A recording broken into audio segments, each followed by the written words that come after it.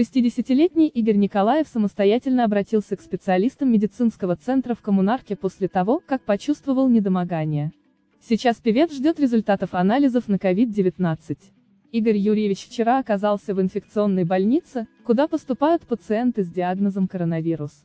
Врачи взяли все необходимые анализы, чтобы установить, заражен ли музыкант уханьским вирусом. На данный момент у него диагностировали очаговую пневмонию. Состояние Николаева оценивают как средней степени тяжести. У певца держится высокая температура. Помощница артиста Юлия просит не спешить делать поспешных выводов по поводу его заболевания. Мы все люди. И мы все болеем в периоды осень-весна, и слава богу, выздоравливаем, передает слова девушки канал 360. Друг композитора Иосиф Пригожин рассказал, что Николаев пару дней назад жаловался ему на простуду. По словам продюсера, по голосу артиста было понятно, что он чувствовал себя нормально. Мы с Игорем разговаривали позавчера, он жаловался, что простыл после гастролей.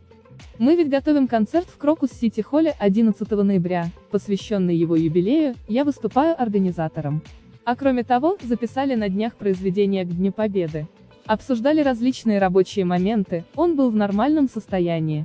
Обычная легкая простуда, высказал мнение муж певицы Валерии. Игорь Николаев попал в коммунарку вслед за Львом Лещенко, у которого подтвердился коронавирус.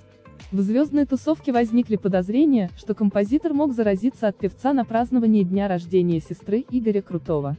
Торжество состоялось в середине марта.